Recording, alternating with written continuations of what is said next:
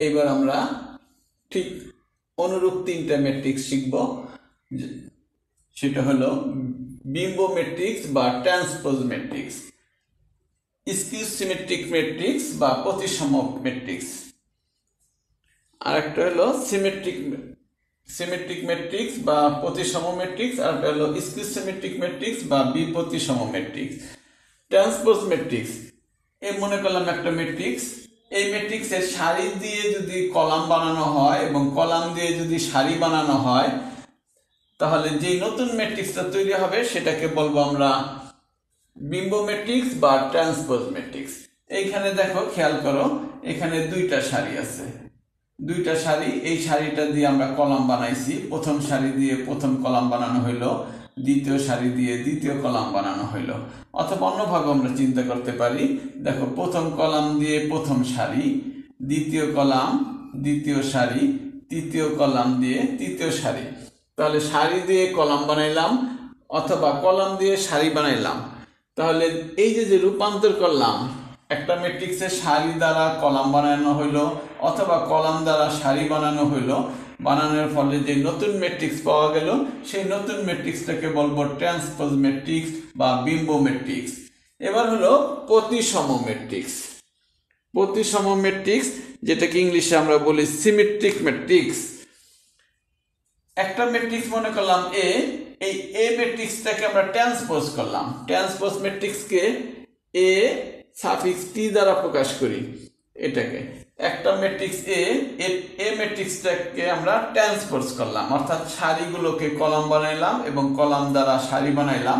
বানানোর ফলে যে নতুন ম্যাট্রিক্স তৈরি হইল সেটা হলো এ ম্যাট্রিক্সের ট্রান্সপোজ ম্যাট্রিক্স কিন্তু এখানে লক্ষণীয় ব্যাপার এ ম্যাট্রিক্সের ট্রান্সপোজ ম্যাট্রিক্স আমরা রূপান্তর করছি বা তৈরি করছি, এতে মানের কোনো পরিবর্তন হয় নাই।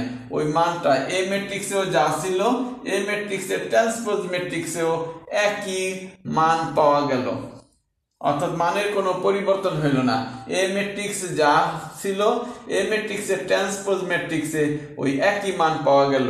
অর্থাৎ এ ম্যাট্রিক্স এবং তার ট্রান্সপোজ ম্যাট্রিক্স যদি সমান হয়, তাহলে এই ধরনের ম্যাট্রিক্সকে বলা হবে প্রতিসম ম্যাট্রিক্স আর বিপ্রতিসম ম্যাট্রিক্স বা স্কিউ সিমেট্রিক ম্যাট্রিক্স যেটা, সেটা হলো কোন একটা ম্যাট্রিক্সকে যদি ট্রান্সপোজ ম্যাট্রিক্স করা হয় বা রূপান্তরিত ম্যাট্রিক্স বা বিম্ব ম্যাট্রিক্সে রূপান্তর করা হয়, তাহলে যদি মানটা আগেরটাই ফেরত পাওয়া যায়, শুধুমাত্র বাম পাশে একটা মাইনাস আসে, তাহলে এই ধরনের ম্যাট্রিক্সকে বলা হয় বিপ্রতিসম ম্যাট্রিক্স অর্থাৎ এ ম্যাট্রিক্সকে আমরা ট্রান্সপোজ করছি।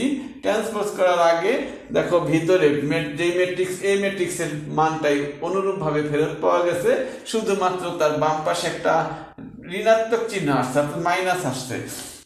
তাহলে আমরা বলতে পারি, এই যে এইটা মাইনাস আর এটা হলো এ এ ম্যাট্রিক্স তাহলে A transpose matrix minus A তাহলে এ ম্যাট্রিক্সের ট্রান্সপোজ ম্যাট্রিক্স যদি মাইনাস এ হয়, তাহলে এই ধরনের ম্যাট্রিক্সকে আমরা বলি বি প্রতিসম ম্যাট্রিক্স প্রতিসম ম্যাট্রিক্স হইলে এ ট্রান্স এ ম্যাট্রিক্সের ট্রান্সপোজের মান এ ম্যাট্রিক্সের মান সমান হইতো।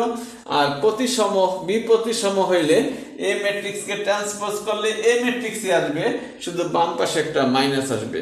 অর্থাৎ এ ম্যাট্রিক্সের ট্রান্সপোজ ম্যাট্রিক্স যদি মাইনাস এ হয়, তাহলে সেটাকে বলব বি প্রতিসম ম্যাট্রিক্স আর এ ম্যাট্রিক্সের ট্রান্সপোজ ম্যাট্রিক্স যদি এ ম্যাট্রিক্সের সমান হয়ে যায়, তাহলে সেটাকে বলব প্রতিসম ম্যাট্রিক্স আর রূপান্তরিত ম্যাট্রিক্স বা বিম্ব ম্যাট্রিক্স বা ট্রান্সপোজ মেট্রিক্স সেটা হলো সারিকে কলাম, কলামকে সারি বানিয়ে যে নতুন মেট্রিক্স তৈরি করা